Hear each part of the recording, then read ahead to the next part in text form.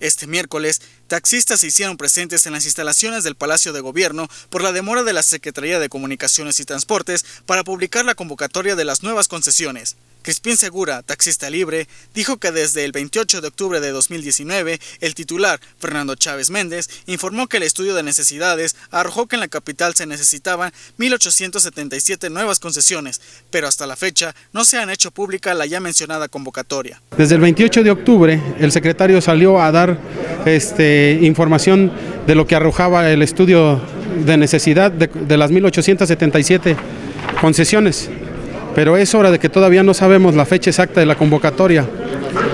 Si bien es cierto, la ley te marca todavía 45 días para la entrega de papelería y 90 días para emitir el fallo.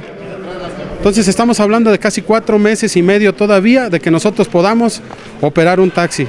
Asimismo, Crispín Segura dijo que las empresas de redes de transporte están trabajando sin la necesidad de haberse hecho una convocatoria o alguna especie de estudio y esto lo consideran injusto.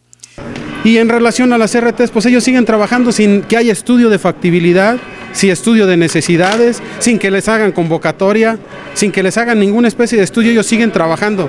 Y nosotros que tenemos años, todavía seguimos en espera que nos den luz verde para entregar papelería, hacer otra vez el gasto y poder trabajar. Cuando tenemos ya el, el doble del parque vehicular que nosotros en 40 años no lo hemos podido llegar, en RTs ya tenemos ese, ese padrón y nosotros todavía seguimos en espera de poder explotar este servicio. Finalmente, Crispín Segura comentó que las autoridades no les han resuelto, solo les posponen la fecha para recibirlos y lo que ellos exigen es la pronta publicación de la convocatoria para las nuevas concesiones. Con imágenes de Héctor Morán, Germain Santos, Noticieros Canal 7.